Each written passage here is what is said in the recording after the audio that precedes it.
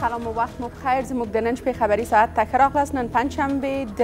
غبرګولي د میاشتې پنځه ویشتمه او د جون پنځلسمه نیټه ده په پیل کې هم د څو مهمو خبرونو سرټکي در سره په همکارۍ د پاکستاني ملیشاو تورنېدل پاکستاني ملیشه تورن شوي چې پر تورې بورې د داعش په برید کې یې همکاري کړې ده چې کله دوی ته تلفات اوړي نوې قوا ورته رارسیږي البته د پولې هاخوا نه افغانستان کې د امریکا د پخوانیو تیروتنو پر مخنیوي ټینګار پنټاګون وایي افغانستان کې کړې پخوانۍ تیروتنې به بیا ځلې تکرار نشي د کندهار د والي پر مېلمستون د برید په اړه د څېړنې د پایلې اعلانول د پېښې څېړونکي کمیسیون نن خپلې پایلې په ډاګه سه نفر دیگه که تثبیت شده که اونا در یک حمله انتحاری در پلانگذاری از و سهم داشتن اونا هم تثبیت شدن د لومړني میټرو بس د جوړېدو د کار پیل کابل ښار کې د لومړني میټرو بس د جوړولو کار پیل شو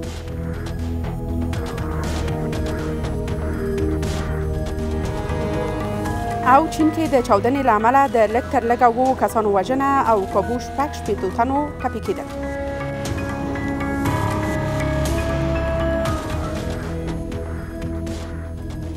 دا هم پوره خبرونه زه مرزیه حفیظیم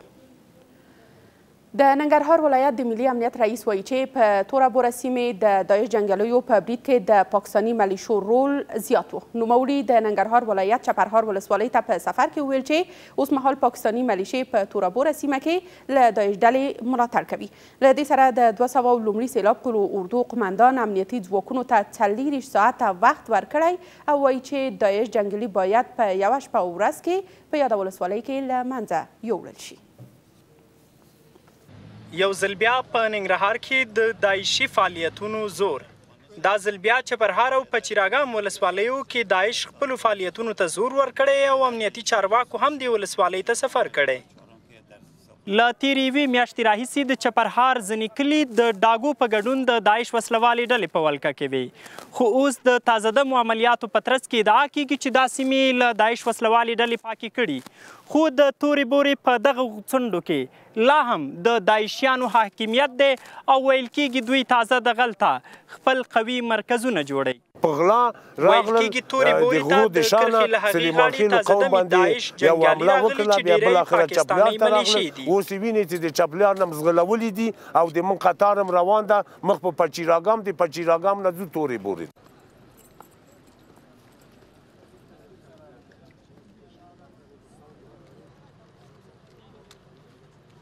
چې کله دوی ته تلفات اوړي نوې قوا ورته را رسیږي البته د پولې اخوانه د سرحد دا غاړې نه دوی ته نوې خلک راځي په چپرهار کې کېدای سي موږ تاسې داسې او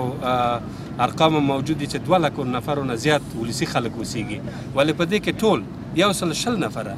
یو سل څلوېښت نفره هغه دښمنان دي چې راځي د ولس د منځ نه غواړي استفاده وکړي ولس هم ناارامه کړي ولس هم ناامنه کړي او مشکلات هم خلکو ته ایجاد کړي. د چپرهار او پچیر اګام په ځینو کلیو کې کورونه خالي ډاګ پراته دي. سلګونه کورنۍ بې ځایه شوي خو ځايي خلک د داعش په اړه رسنیو ته څه نه وايي. نیوکې دا دي چې ډېر کله په بېلابېلو ولسوالیو کې د داعش وسله والې ډلې پر ضد تر عملیاتو وروسته کله چې ځواکونه خپلو قرارګاوو ته ستنېږي، هلته د امنیتي ځواکونو او سیمه ییزو پولیسو پوستې نه جوړېږي او همدا ده چې بېرته سیمې د داعش ولکې ته لوېږي. دا چې د چپرهار ولسوالۍ دا سیمې به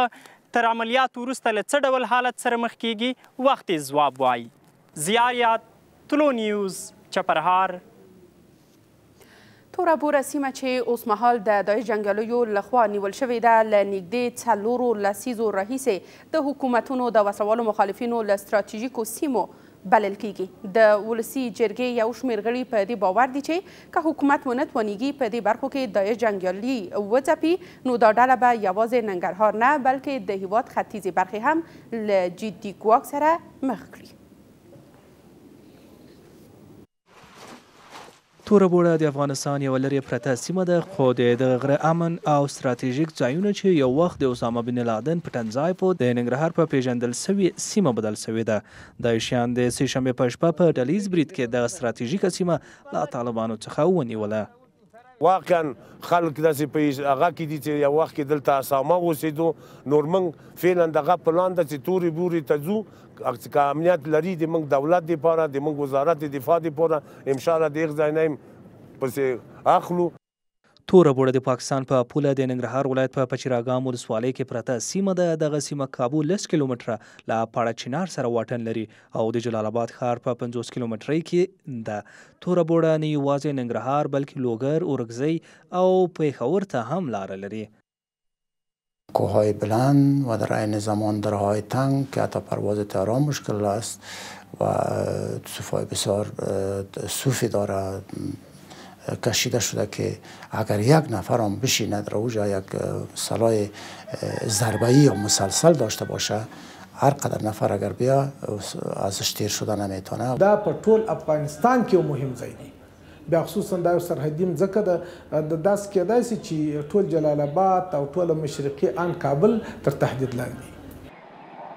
توره بوړه د لومړي ځل لپاره په دیارلس سوه اته پنځوس کال کې د مولوي محمد یونس خالص په مشرۍ مجاهدینو لخوا کارول سوې ده په توره بوړه کې د اسامه بن لادن په پټېدو د افغانستان دغې سیمې نړیوال شهرت ترلاسه کړ او له هغې وروسته تر سې شنبې پورې د هېواد په ختیځ کې د طالبانو د فعالیت او روزنې مهم مرکز و چې اوس د داعشیانو لاس ته ورغلې ده. په تخار، پکتیا او نورستان ولایتونو کې د والیانو نه شتون سیمه ییزه حکومتولي له جدي ستونزو سره مخ کړې ده. د یادو ولایتونو استازي د والیانو په نه شتون اندېښنه څرګندوي او له مرکزي حکومته غواړي چې ډېر ژر دې دې ستونزې ته رسیدګي وکړي. اخوا د سیمه ییزو ارګانونو اداره وايي چې د تخار د والي استعفا منل شوې نه ده او حکومت هم تر اوسه د پکتیا او د نورستان ولایتونو لپاره د نویو والیانو د ګمارلو په اړه پرېکنه نه ده کړې. کابو یوه میاشت مخکې د تخار والي محمد یاسین ضیا له دندې استعفا وکړه او د پکتیا والي زلمی ویسا هم د ولسمشر لخوا د همایون عزیزي پر ځای د کندهار د نوي والي په توګه ګمارلی دی. د دغه ولایت ترڅنګ نورستان هم د پخواني حکومت له وخت راهیسې د سرپرست لخوا اداره کیږي. د تخار او پکتیا د ولایتي شوراګانو غړي وايي، په دغو ولایتونو کې د والیانو نشتوالی ډیری ستونزې رامنځته کړي دي. والي چي ده لومړی مقام دی په ولایت کي نو موږ دي مرکزي حکومت نه دا غوښتنه دی چي پکتیا ته باید زر تر زره یو ښه مناسب کس دي پکتیاوالو دي دي دي پکتیاوالو په ګټه او دي دولت او دي نظام په ګټه وي. ای ولایت سرپرست نداره و ای ولایت والی که رسما باید وظایف مسئولیت های خود ادا کنه وجود نداره مایه نگرانی بری ما و همه مردم ولایت تخار است. له بل خوا د سیمه ییزو ارګانونو اداره وايي، حکومت تر اوسه د تخار د والي یاسین ضیا استعفا نه ده منلې. یکی از والی صاحبای ما که تبدیل شد امروز والی جدید ولایت فاریاب جنرال صاحب فوزی همایون فوزی معرفی شد رسما به ولایت فاریاب و یک ولایت دیگه والی نداریم ولایت پکتیا هست که اشخاصی کاندید هستند هنوز نظر نهایی از طرف حکومت وحدت ملی مشخص نشده. له دې مخکې یو شمېر والیانو په مرکزي حکومت کې د واک په تمرکز نیوکه کړې او د والیانو د واکونو پر زیاتېدو یې ټینګار کړی دی. د امریکا دفاع وزارت وایي چې د دې هیواد اوسنی حکومت به په افغانستان کې تیرې تیروتنې تکرار نه کړي. د پنټاګون په یوې بیانیه کې راغلي، واشنګټن به اجازه ورنکړي چې افغانستان یو ځل بیا د ترهګرو په امنو پټنځایونو بدل شي. د امریکا دفاع وزیر د افغانستان په جګړو کې امریکایي ځواکونو ته د ډیرو صلاحیتونو د ورکړې غوښتنه کړې ده. له دې سره د امریکا کانګرس یو غړي ویلي دي چې د پاکستان د پوځي استخباراتو سازمان په افغانستان کې د ترهګرو ملاتړ ته دوام ورکوي او د امریکا مرستې باید دې هېواد ته بندې شي.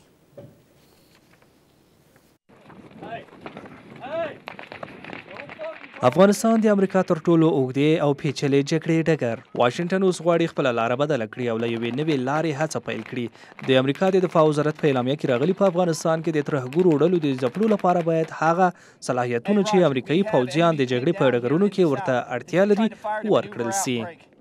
تمه کېږي چې د افغانستان په اړه د واشنګټن نوې تګلاره به د راتلونکې زېږدیزې میاشتې په نیمایي کې روښانه سي چې دا ځل به د افغانستان د ستونزې اواري ته د سیمه ییزې تګلارې له لارې کار وسي. در پالیسی خود دو چیزه به جنگانه به گنجانه دو چیزه یکی مسئله صلح را که چطور میتونه در افغانستان صلح بیه به وقت نتواند در جنگ مسئله دوم تقویه اردوی افغانستان است و تقویه قواتای هوایی افغانستان است و فشار اعظمی بالای پاکستان مداخله گر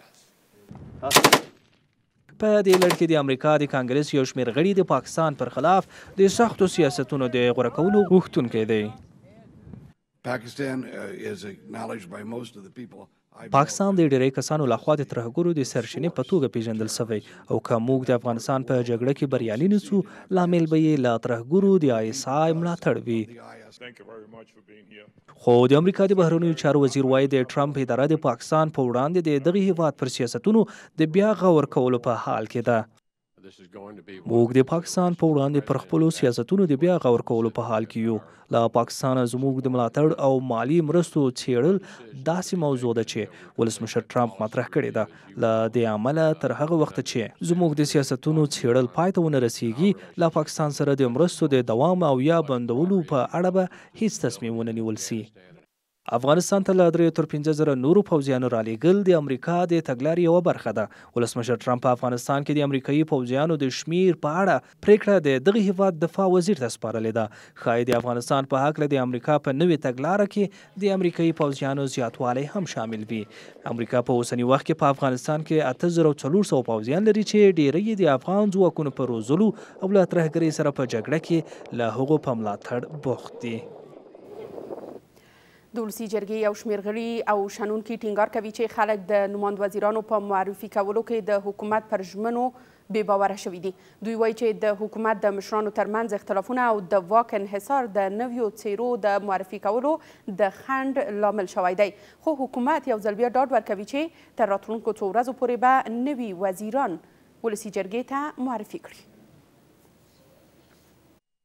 د ملي یووالي حکومت کابینه له هماغه پیله بشپړه نه وه. په اوسني وخت کې یوولس وزارتونه او یو شمېر ادارې د سرپرستانو لخوا اداره کېږي. کارپوهان په حکومتي ادارو کې د سرپرستۍ کلتور دوام د هېواد په زیان بولي. دو تا پیامد عمده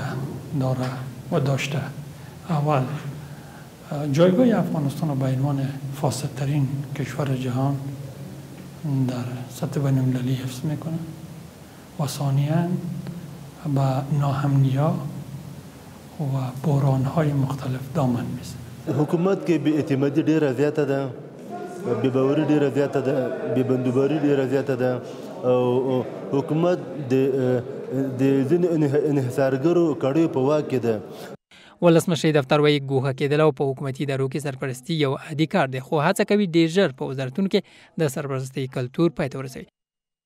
موضوع سرپرستی طوری نیست که از نخست روز این حکومت وزارت ها از طرف سرپرستا به پیش برده می شد اما وزرا میان و میروند سر به صلاحیت می شوند و یا هم مستعفی می شوند وزارت هایی که فعلا از سوی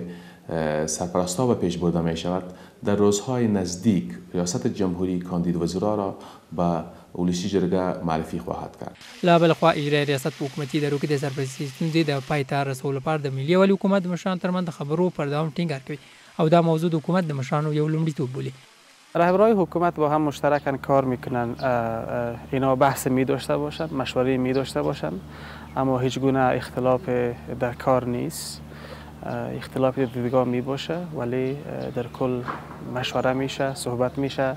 و بالاخره هر فیصله که میشه او فیصله مشترک است فیصله از حکومت وحدت ملی است د بهرنیو چارو، ملي دفاع، فواید عامې، لوړو زده کړو، پوهنې، کار او ټولنیز چارو، ترانسپورت او هوایي چلند، مخابراتو او معلوماتي ټکنالوژۍ، اطلاعاتو او کلتور، کانونو او پټرولیم او قومونو او قبایلو چارو وزارتونو د سرپرستانو لخوا اداره کېږي.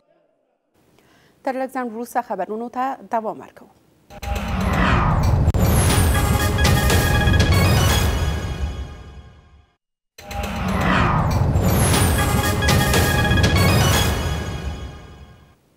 د خبرونو دوام ته ښه راغلاست د ملي امنیت ریاست د کندهار د والي په مېلمستون کې چاودنه وحشتناکه پېښه بولي او وايي چې د دې چاودنې عامل د والي آشپز و. د ملي امنیت رئیس وايي چې طالبانو د والي آشپز ته د دېرش زره ډالرو او په پاکستان کې د یوه کور ژمنه کړې وه. ښاغلی ستانکزی وايي چې په دې مېلمستون کې چاودېدونکو توکو ته له لرې څخه چاودنه ورکړل شوې وه. د یادولو ده چې تر دې وړاندې طالبانو په دې پېښه کې لاس لرل رد کړی و. د ملي امنیت عمومي ریاست د کندهار د والي په میلمستون د حقیقت موندونکي کمیسیون پایلې اعلان کړې د ملي امنیت رئیس وایي طالبانو د دغه میلمستون اشپز سید محبوب آغا چې له دریو کلونو رئیس یې په دغه میلمستون کې کار کاوه اړ کړ چې د دېرش زره ډالرو او پاکستان کې د یو کور په بدل کې د دې برید لپاره چاودیدونکي توکي میلمستون ته ولېږدوي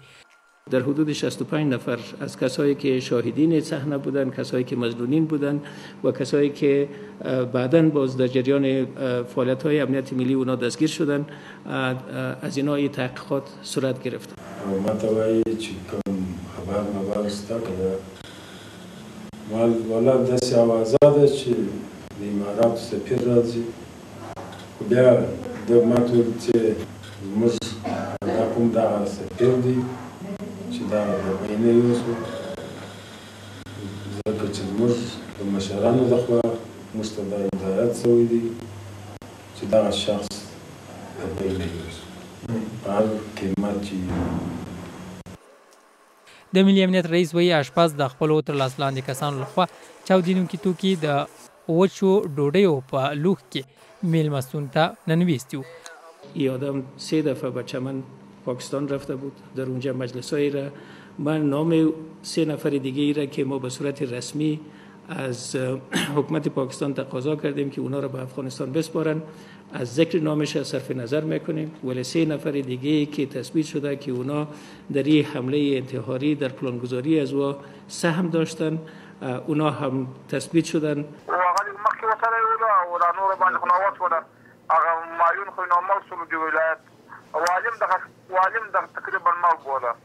دا کس له بریده مخکې درې ځله د پاکستان چمن ته تللی او هلته د کوټې شورا له دوو غړو او یو بل طالب چارواکي سره کتلي او د دې برید د ترسره کولو حکم یې ترلاسه کړی وو. د حقیقت موندونکي کمیسیون د څیړلو له مخې د کندهار د میلمستون آشپز چاودیدونکي توکي د میلمستون په کوچونو کې ځای پر ځای کړي وو خو دا چاودیدونکي توکي له لیرې وچاودول شو. کمیسیون ویلي د برید درې اصلي ترسره کوونکي په پاکستان کې دي. کابل او متحده عربي اماراتو له پاکستانه غوښتي دي چې د دغو دریو افغانانو په نیولو کې مرسته وکړي. د تېر کال د جدي په یوویشتمه نېټه د کندهار د والي په مېلمستون کې په مرګوني برید د شپږو عربي دیپلوماتانو او د کندهار د والي د مرستیال په ګډون د دولسو دولس تنه مړه او د کندهار د والي په ګډون اوولس تنه نور ټپیان شول. د بدخشان ولایت تګاب ولسوالۍ د طالبانو له شتونه پاکه شوه. د بدخشان امنیه قومندان وایي، امنیتي ځواکونه د اوه ورځینیو عملیاتو په لړ کې وتوانېدل څو د یادې ولسوالۍ ناامنې برخې د طالبانو له شتونه پاکې کړي نوموړی همداراز زیاتوي چې طالبانو له دوو کلونو راهیسې د دې ولسوالۍ د ودانۍ په یو کیلومترۍ کې حضور درلود. په داسې حال کې چې د روژې میاشتې په پیل سره په بدخشان ولایت کې د دولتي ځواکونو عملیات تر څه حده ولاړ وو خو طالبانو له دې فرصت نه په ګټنې د ارغنج خوا خاش او تګاب ولسوالیو په ځینو سیمو بریدونه کړي له دې سره اووه ورځې وړاندې دولتي ځواکونو په تګاب ولسوالۍ کې پوځي عملیات پیل کړي دولتي ځواکونه وایي اوس په دې ولسوالۍ کې طالبان نشته عملیات تقریبا یک هفته ادامه پیدا کرد در این مدت تقریبا تمام قریجات و محلاتی که مربوط ولسوالی تگاب می شد از وجود طالبا پاکسازی شد د بدخشان د امنیتي چارواکو په وینا له تیرو کابو دوو کلونو راهیسې طالبانو د تګاب ولسوالۍ په ځینو برخو کې شتون درلود خو اوس وردوج ولسوالۍ ته تښتیدلي په همدې حال کې د بدخشان ولایت ځینې اوسیدونکي او د مدني ټولنې فعالان وایي تر هغو چې د وردوج او یمګان ولسوالۍ د طالبانو له شتونه پاکې نشي دې ولایت کې به نوري ولسوالۍ هم د نامنۍ له ګواښ سره مخامخ شي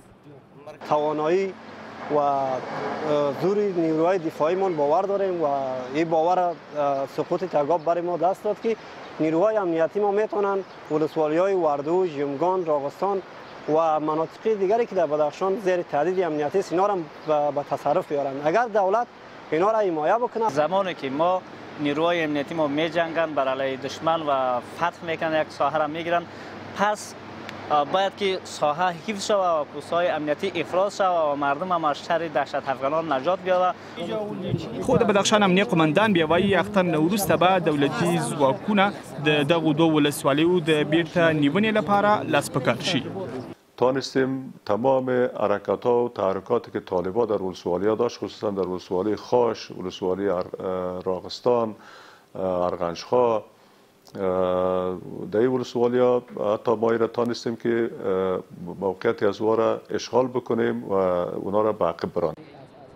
له دې سره چې د یمګان او وردوج ولسوالۍ په بشپړه توګه د طالبانو په ولکه کې دي د دې ولایت نه نور ولسوالیو او د فیض آباد ښار اتمی او نهمی حوزو کې هم طالبان شتون لري د سولې له بهیر سره د طالبانو یو ځای شوی یو قومندان وایي چې ډیر شمیر طالبان له جګړو ستړي شوي دي او غواړي چې د سولې له بهیر سره یو ځای شي نوموړی ادعا کوي چې د حکومت پر ضد د جګړو د دوام لپاره د طالبانو تبلیغات غولوونکي دي او په ډېریو مواردو کې طالبان په غیر اسلامي کړنو لاس پورې کوي. ملا امان الله د فاریاب په قیصار ولسوالۍ کې د طالبانو قوماندان و. دی اوس له یوه ساتونکي، درې میله وسلې او یوه اندازه مهماتو سره پولیسو ته تسلیم شوی دی وايي د طالبانو په لیکو کې ډیری وسله وال له جګړي ستړي شوي. برادرای ما از ای طرف هم کشته می شد از او طرف پالوی ما هم به هم به سنگر بود کشته می شد هر دویش هم اسلام بود ولی هر روز یکی دوتا هر ده هر جنگ ده همدیالای خود ما کشته می شد ولی جگر خون بودیم دیگه امروز آمدیم به دولت خود پیوست شدیم رئیس صاحب نظام الدین خان بسیار خوشحال هستیم ما فعال این هستیم په همدې حال کې د قیصر ولسوالۍ امنیه قومندان وایي نورو طالب قومندانانو سره یې هم اړیکه نیولې او هغوی د سولې له بهیر سره یو ځایوالي ته زړه ښه کړی. اینا ظالم مردم است اینا اینا کار پاکستان است اینا گپ پاکستان را میکنه اونا که قدم تماسره گپا را پا میده که اصلا هدف هدف پاکستان است اینا یک تا دو تا آمده را دیگه می انشالله هم هر گروپش قدم تماسره د قیصار ولسوالي امنیه قوماندان زیاتوي چې په وروستیو دوو کلونو کې څلور دېرش تنه وسله وال راضي کړي چې جګړه پرېږدي او دولت سره یوځای شي. قوماندان وایي دوی اوس د طالبانو سره په جګړه دي.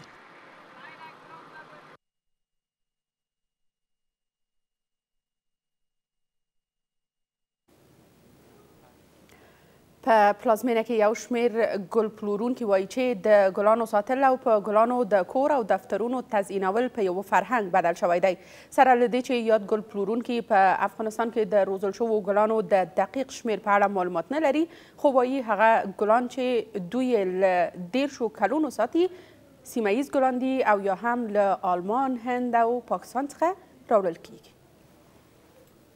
له پخوا راهیسې ګلان د کورونو او دفترونو د ښکلا لپاره کارول کېږي. ښايي لامل یې یوازې د ښکلا رامنځته کول نه وي، ځکه د فضا د ککړتیا کمښت او همداراز د ځینو موسمي ناروغیو کمول د ډېریو ګلانو ځانګړتیاوې دي. پنځه شپېته کلن سخي مسکینیار له څه باندې دېرشو کلونو راهیسې د کابل په مکرویانو کې ګلخونه لري او ګلان پلوري. وطنی خود ما و شما جریبن است پلارگونه است بگونی است لنتنا است اینیا از خود افغانستان است و از خارج کالتوس است پنجه شیر است سرب است رامبیل چامبیل راجکرانی اینیا از خارج است. دغه کس چې په خپله ګلخونه کې اتلس ډوله تازه ګلان لري، وايي دا ګلان له جرمني، هند، پاکستان څخه راوړل شوي او کورني ګلان هم پکې شته. دغه ګل چې د لنتنا په نوم یادېږي هندي ګل دی او اوه رنګونه لري. له څه د پاسه لسو کلونو راهیسې دا ګل په دې ګلخونه کې قلمه او له روزلو وروسته پلورل کېږي. بازی را در گلخانه ما قلمه می کنیم خواص گرمی دارد در زمستان گرفت ندارد در بار صد فیصد گرفت دارد. تقریبا یک یازده دوازده رقم گل می باشد دیگه دیروز هم روز مادر بود به مناسبت روز مادر بسیار همی گلای تازه که آورده بودیم خلاص شد. ګل پلورونکي په دې باور دي چې په کور او همدارز رسمي ځایونو کې د ګلانو ساتل اوږده مخینه لري. د هلمند ولایت اوسیدونکي د دې ولایت په روغتیايي خدمتونو نیوکې کوي. دوی وایي چې د حرفوي ډاکټرانو کموالی، د ښځینه ډاکټرانو نشتون او په ولایتي روغتون کې د بسترونو کموالی د دې ولایت د اوسیدونکو اساسي ستونزې بلل کېږي. د هلمند د عامې روغتیا ریاست وایي چې د هلمند ولایتي روغتون یو سلو پنځوس بستره لري خو په ورځ کې تر پنځه سوه ناروغان دې روغتون ته راوړل کېږي. دا د لښکرګاه ښار ولایتي روغتون دی، که څه هم دا روغتون یو سلو پنځوس بسترونه لري خو د نوموړي ولایت اوسېدونکي په دغه ولایت کې له روغتیايي خدمتونو شکایت کوي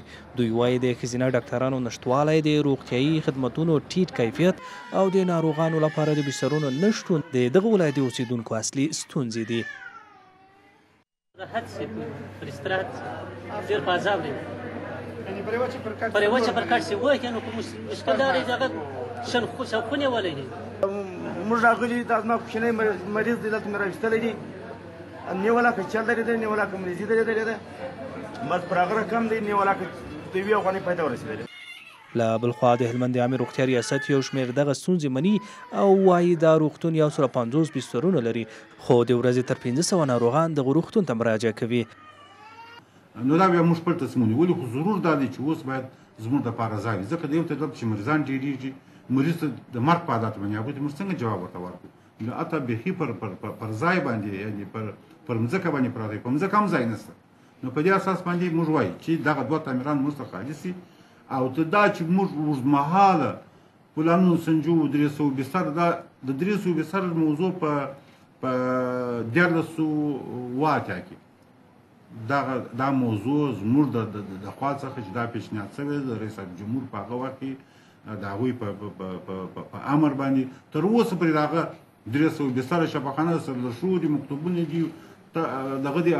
اجرات نه دي د هلمند ولایت اوسېدونکي وایي حکومت باید د دوی دغو ستونزو ته پاملرنه وکړي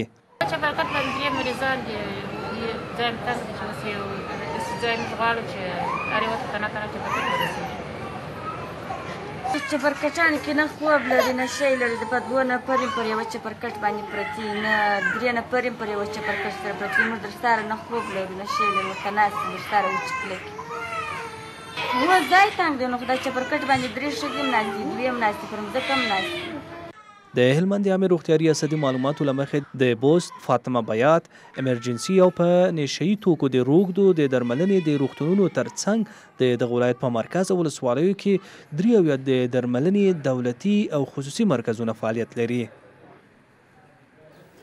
خبرونه مو تر دې دمه په لمر کې همدومره ول، له ملتیا مو مننه.